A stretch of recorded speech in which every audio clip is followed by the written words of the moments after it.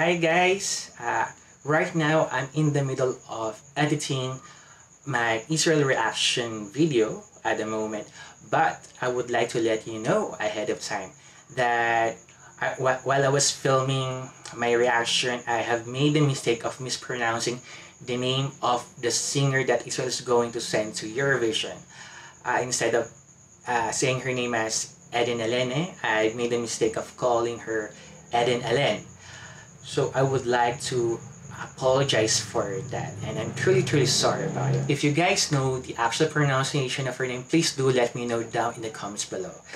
Please enjoy the rest of the video because I have a lot to say about Set Me Free, which is going to be Israel's song for the contest.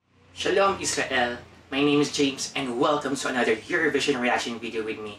And today, I'm going to react to the Israeli entry for the Eurovision Song Contest that will take place this May at Rotterdam, Netherlands. So let's get to it and start reacting.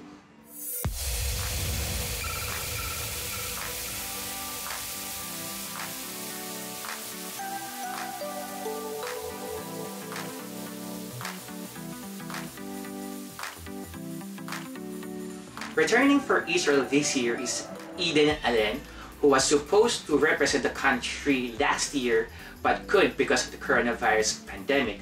Following the cancellation of Eurovision last year in May, uh, the Israeli broadcaster Kan in turn selected Eden to be their representative once more, and what followed was a months-long search for her song for Rotterdam 2021.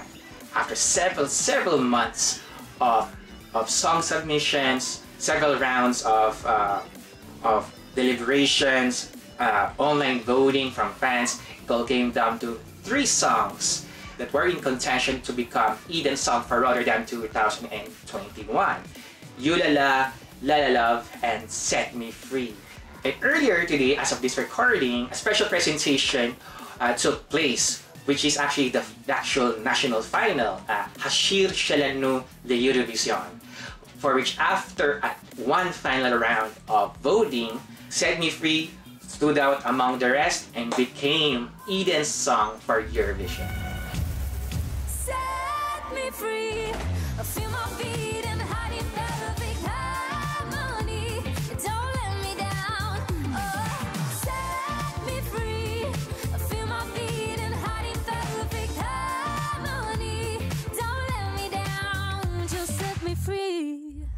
Uh, to be quite honest with you, I actually haven't listened to the two other songs that were in contention with Set Me Free, Yulala and La La Love. But upon hearing Set Me Free for the first time, uh, just moments ago, I think Israel made the right choice in selecting this as Eden songs, Eden song for for Eurovision. For one, uh, it's it's consistent with her 2020 effort, Feker Libi.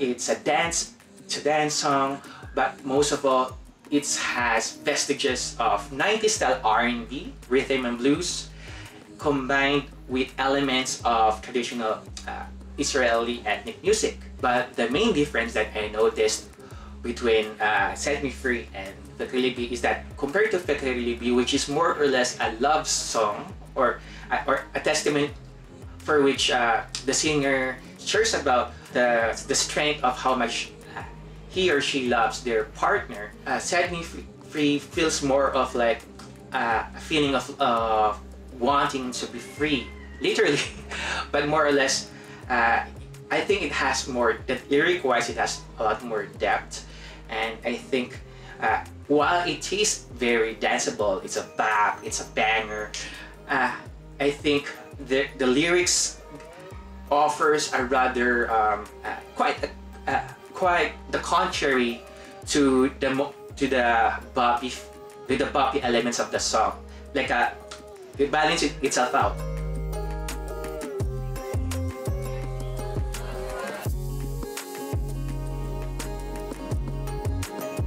I, I, I quite like it for what it is and I don't think no other songs would have had that same impact to first-time listeners such as me. And because Hashir Shelanu Vision are only presented uh, music videos of the three songs uh, that were that were in the running to become Eden songs. We, we didn't see any live performances to each of the songs. Eventually, be able to see how Eden uh, does on the live performance of of Set Me Free soon enough. And having already seen uh, Eden perform previously last last year in the national song selection, I am I am fully confident that you know uh, that Eden will be able to bring bring the goods on screen and and to everyone by the time uh, the contest comes. Uh, I actually hope that her team uh, bring elements of the music video of Set Me Free to the Eurovision stage because I quite like the concept and I, I could easily see it being uh, being replicated on the Rotterdam stage. So I'm quite excited for that to happen. So guys, uh, what do you think of the song? Do you like it? Do you prefer Yulala or Lala Love? Let me know down in the comments below.